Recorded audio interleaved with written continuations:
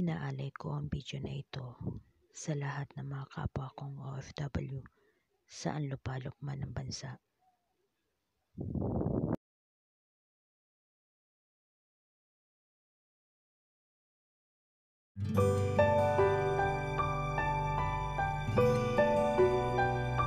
This is Malorda's Vlog. Just click the bell button para ma-notify kayo na every time na mag-upload ako ng video. And please like and share.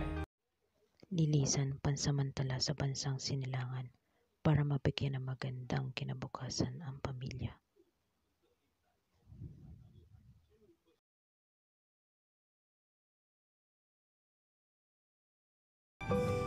Kung ganyan lang kadaling abutin ang mga pangarap, ginawa ko na.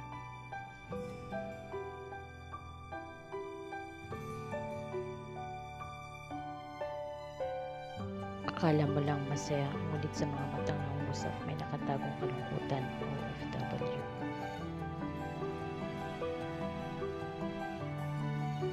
Madilim ang liwanag ng buhay ng isang OFW.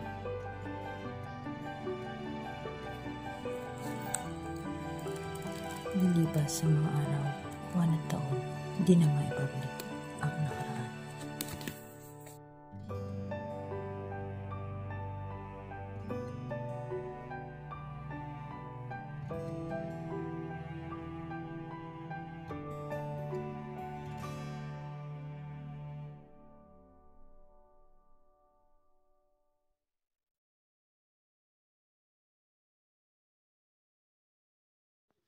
Pinakamahalagang okasyon, graduation ng mga anak.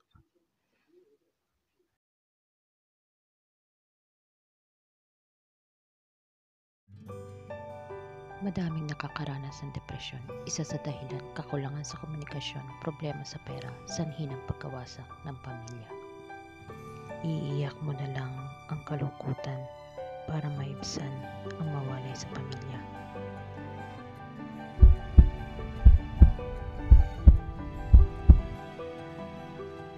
Pangako magsasama sa hirap at ginahawa, ngunit ikaw ay lumisan.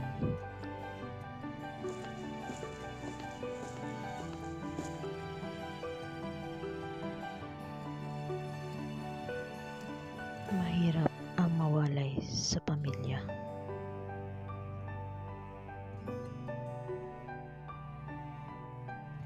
Iba-ibang karanasan ng mga OFW sa pangibang bansa. Madaming OFW inabandon ng sariling pamilya.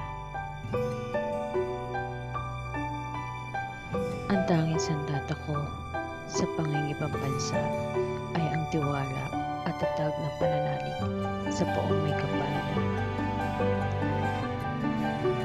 Babalik ako na buo ang aking pamilya.